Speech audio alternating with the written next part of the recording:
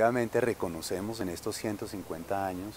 que hemos sido una universidad, una institución que viene realizando desde todo este tiempo el proyecto liberal que se quiso poner allí, es decir, una universidad que contribuyera a construir nación,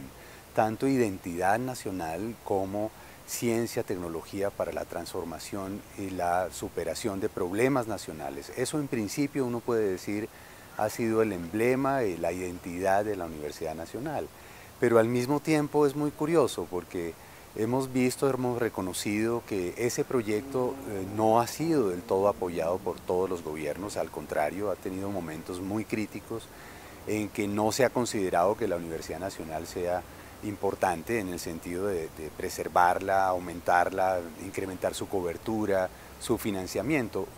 Y al contrario, hemos tenido en los últimos 30 años un proceso eh, que no es conveniente porque debilita la inversión pública directa, el financiamiento directo de la universidad pública y en particular de la Universidad Nacional y eso nos ha puesto realmente en calzas prietas. Hemos tenido una gran dificultad para sostener nuestra actividad y hoy en día el 50% de nuestro presupuesto depende de la venta de servicios. Entonces eso no es correcto. Es decir, deberíamos pensar nuevamente en cuál es el lugar estratégico de la Universidad Nacional para este país hacia futuro. Estamos tratando de salir de un conflicto armado de más de 50 años. Estamos con la idea como sociedad que queremos superar las causas de ese conflicto y construir una sociedad más equitativa, más justa y por tanto en paz. Bueno, pues la Universidad Nacional es estratégica en ese proyecto y debe recibir tanto el apoyo del Estado como de la sociedad para tener más presencia nacional, tener una relación muy fuerte con la diversidad regional de este país